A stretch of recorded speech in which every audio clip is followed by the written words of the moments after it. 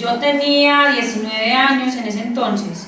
En ese, en ese momento mataron a mi papá.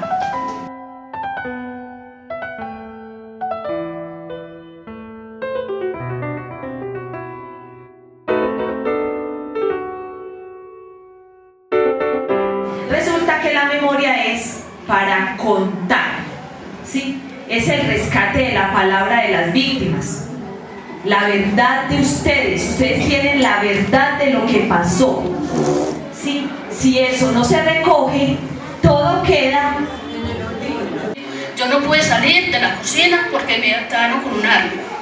Entonces ya yo sentí... Eso fue en cosa de segunditos, según mejor dicho, cosa de tres minuticos. Lo tumbaron al suelo, según cuenta papá, lo, lo cogieron de los pies, lo tumbaron al suelo, y ellos le dispararon y se volaron. Esta vela venciendo en honor también a las víctimas y para que con todo este proceso podamos salir adelante y perdonemos a los que tanto daño nos han hecho.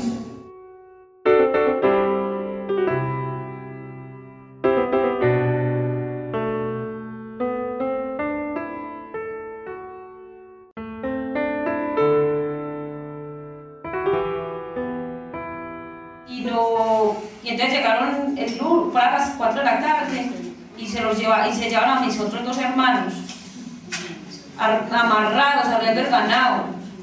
Mis hermanos le dijeron en, en- en- cuando iban así volteando a un morro, le dijeron, mamá consiga la plata, no nos vaya a dejar matar, no nos vaya a dejar matar. ¿Por qué empeñarnos en recordar? Porque la historia no puede estar solo en los corazones de los sobrevivientes.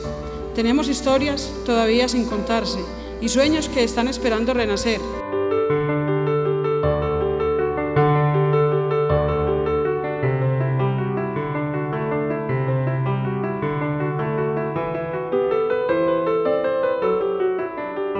Yo pude estar alrededor de unos tres o cuatro años, no, no encerrada porque me tocó seguir rebuscándome la papa, como se dice, para los hijos, pero sí con muchas cosas guardadas.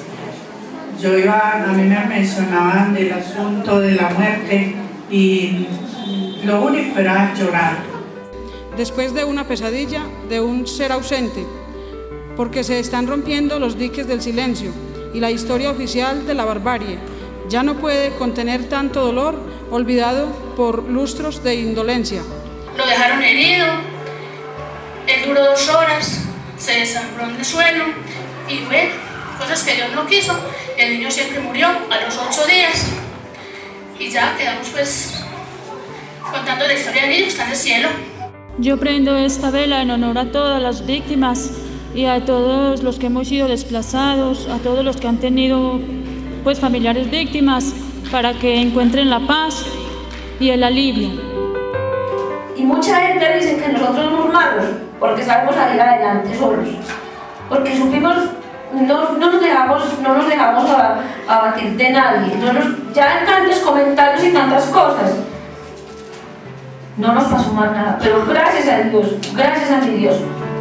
Yo enciendo esta vela en honor a las víctimas que han quedado en la oscuridad, o sea, en la impunidad, para que algún día sus nombres salgan a la claridad y a la luz.